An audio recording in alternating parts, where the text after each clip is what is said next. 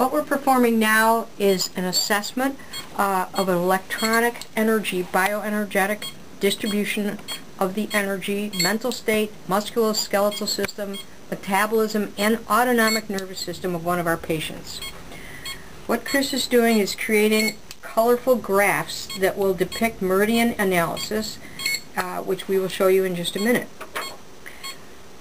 Right now what you see is he is assessing the energy at the source meridians on the wrist and now in the on the foot.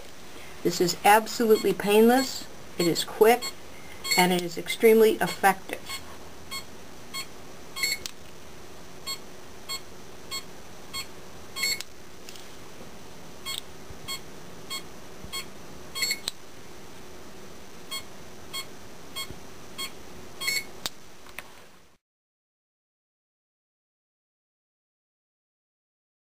These colorful graphs depict a variety of expressions of the body's energy. Here you see a diagram of the body energy balance. Uh, what we want to see is that this here bullseye is right in the middle, right in the middle, and what we see is low energy, and this is actually a, an explanation of the body's autonomic nervous system when it is put in relationship to the other graphs. Here you see a pie diagram that expresses all of the energy in each one of the meridians. This is the autonomic nervous system analysis.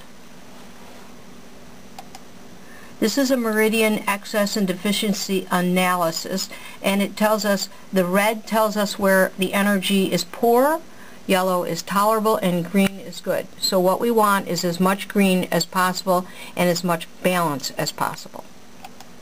Here is another meridian excess deficiency analysis in slope diagram, and the doctors use this differently than the other one.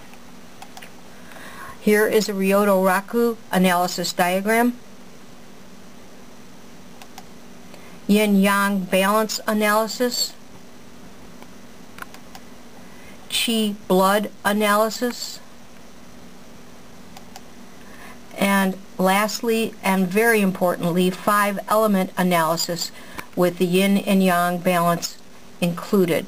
This gives us a roadmap and an absolutely accurate picture of someone's energy.